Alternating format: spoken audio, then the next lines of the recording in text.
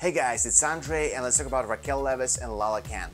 Lala Kent basically said that Raquel Leviss got fooled again while doing interview with Bethenny Frankel. So let's see what she said.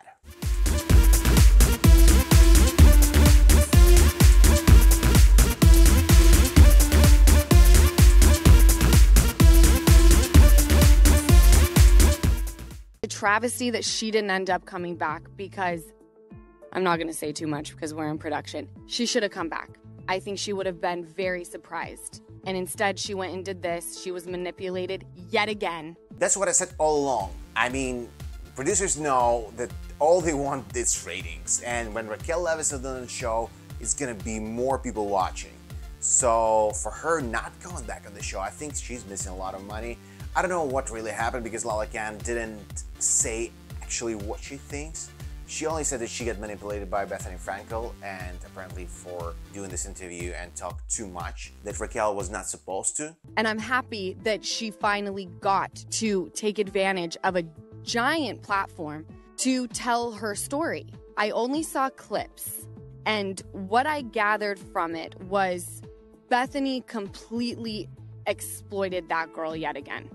In Raquel's interview with Bethenny, the 28 year old claims that she wasn't actually close to Tom's then girlfriend of nine years, Ariana Madix, when she and the Tom Tom co owner started their months long affair. I don't know why she said that, that she wasn't close with Ariana Madix, if on the show was like, they said multiple times that they're like, on, like almost best friends. So I, I'm not sure why would they lie about that. And now she, she says, no, we're not close. That's why it was okay for me to cheat with Tom. I mean, it wasn't okay, but it's like uh, understandable. But there were things that she was then saying that were not perspective. It was this is li- this is a flat out lie, and I can't imagine that you believe what you're saying. And while the rest of the cast attempts to move on from Scandoval as they film season 11, Lala ultimately understands Raquel's decision, adding this I don't think that reality television is for everybody. It is a very intense environment. If you are not mentally tough as f- it can break you. A reality show is definitely not for everyone, and uh, actually, Raquel definitely not mentally stable to be on reality show.